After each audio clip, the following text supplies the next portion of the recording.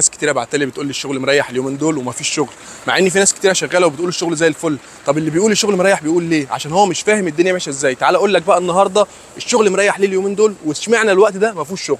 بسم الله والصلاة والسلام على رسول الله. إزيكم؟ عاملين إيه؟ النهارده بإذن الله جايين نرد على بعض الأسئلة اللي الناس بعتها لنا. إيه يا جدعان؟ الشغل مريح مفيش شغل اليومين دول الشغل مش مجازي الدنيا بايظة مش عارف إيه. الناس القديمة في الشغلانة دي أو اللي شغالين من كذا سنة فاهمين الدنيا ماشية إزاي وعارفين إن الشغلانة دي مواسم وفي أوقات فوق وأوقات تحت وأيام فوق وأيام تحت. وفي نفس اليوم ممكن تلاقي وقت فيه شغل كتير جدا. وفي نفس اليوم بتلاقي شغل مريح جدا في أوقات معينة. فالنهاردة بإذن الله هقول لك على الزتونة أو أقول لك على القواعد اللي أنت تمشي عليها عشان تكون فكرك أو دماغك أو ملم بقواعد الشغلانة وتكون كابتن فاهم ما تكونش واحد شغال كده وخلاص. فالنهاردة بإذن الله جايين نقول للناس اللي هي مش فاهمة الدنيا ماشية إزاي لكن الناس القديمة اللي فاهمة اللي عارفة اللي عارف أوقات الشغل واللي ما فيهوش شغل والكلام ده كله ده مع نفسه ربنا يصلح حاله ويزيده فهم في الشغلانة. إحنا النهارده بس جايين نفهم الناس اللي هي مش فاهمة الدنيا ماشية إزاي. اليومين دول فعلا في ناس كتيرة بتشتكي إن أوقات الشغل مريحة جدا جدا جدا. فعلا كلامك مظبوط. بس في أوقات معينة يعني إحنا اليومين اللي إحنا فيهم دول داخلين على مدارس. والناس بقى واخر الشهر يعني داخل من ناحيتين آخر الشهر ومدارس والدنيا بايظة مع الناس واللي كان بيركب كتير قوي وقف شوية عشان خاطر عنده مصاريف مدارس عنده ده عنده ده عنده ده فالدنيا بتبقى بايظة معاه. حتى انت لو عندك عيال هتبقى عارف اللي أنا بقوله ده. فالموضوع بدأ يقل قوي ما حدش بيركب النقل الذكي إلا للضرورة أو أوقات طلوع الموظفين يعني للضرورة القصوى. وفي أماكن معينة وأوقات معينة وأيام معينة كل ده هقوله لك في الفيديو ده. بس أهم حاجة زي ما قلت لك قبل كده لو أنت مش متابعني يبقى فايتك كتير. لو أنت متابعني على التيك توك على الفيسبوك على اليوتيوب اعمل لنا متابعة وحط like عشان يوصلك مننا كل جديد. واوعى تنسى المسابقة. المسابقة اعلنا النهارده عن الناس الفايزة ودي الناس الفايزة أهو بحطها لك بردك في الفيديو ده. ومع تسليم الجوائز إن شاء الله يوم السبت اللي هو 31 8 وبإذن الله هنعلن أسماء الناس كلها اللي فايزة حتى لو حاجة صغيرة هنعلنها في ال live إن شاء الله بكرة الثلاث يوم 27 8 بالليل الساعة 10 بالليل هنعمل live على اليوتيوب و live على التيك توك في نفس الوقت. هنقول للناس كل اللي هم عاوزينه تابعني وزي ما قلت لك لو انت مش متابعني يبقى فايتك كتير. قاعدة رقم واحد معانا إن انت أهم حاجة تكون راجل شغال وفاهم في كل ال application يعني تكون معاك كل ال application في التليفون بتاعك.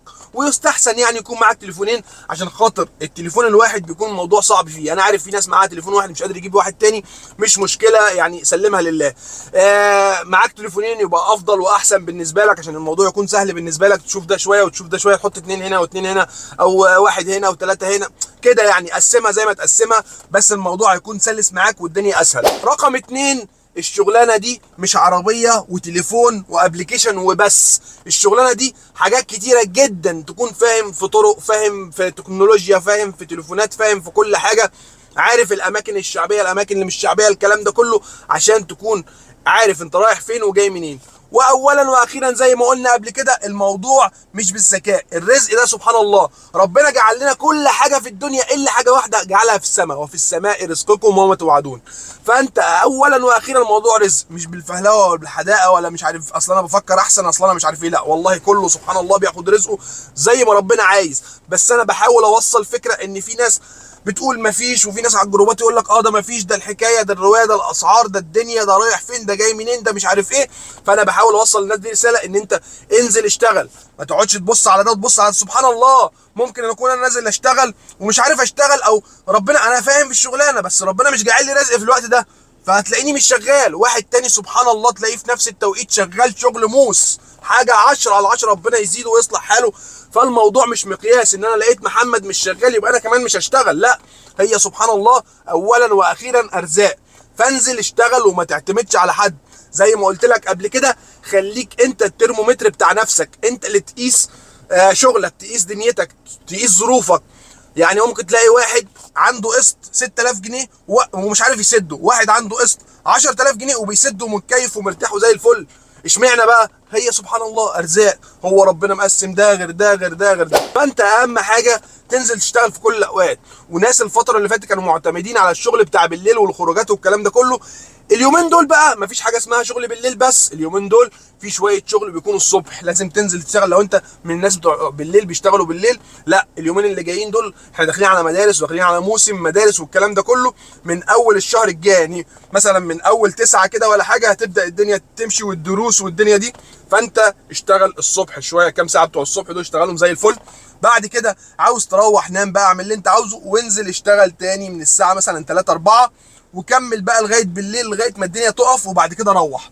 لكن في ناس كانت في الصيف في عز الصيف تنزل تشتغل بقى من من مثلا من الساعة 5 من الساعة 7 من الساعة 8 لغاية تاني يوم الصبح الموضوع ده بقى ضعيف شوية أو بقى مش زي الأول. في شغل آه بس مش زي الأول. فأنت حاول تأقلم نفسك على الشغل. يعني الشغلانة اللي إحنا فيها دي زي ما قلنا في أول فيديو إن هي مواسم.